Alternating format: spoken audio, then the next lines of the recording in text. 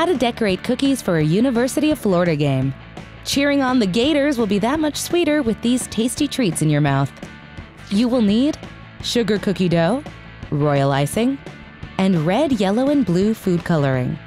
Equipment a rolling pin, University of Florida logo cookie cutters, a pastry bag, and pastry tips. Step 1. Roll out the dough with the rolling pin. Press the cookie cutter into the dough to form individual cookies and transfer them to a cookie sheet. Step 2. Bake as directed or until golden brown. Let the cookies cool completely. Step 3.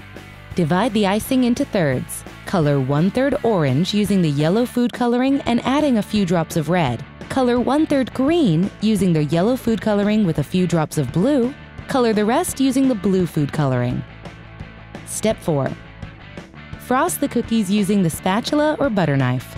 For cookies shaped in the letters U and F, frost them using either the blue or the orange, and use the opposite color for piping. Step 5. Use the green icing to frost the cookies shaped like the Gator mascot.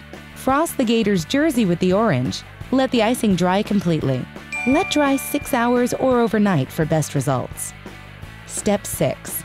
Use the opposite color, either blue or orange, in the pastry bag and a fine tip to pipe a border around the letters or make a letter F on the Gator's jersey. Victory is sweet. Did you know?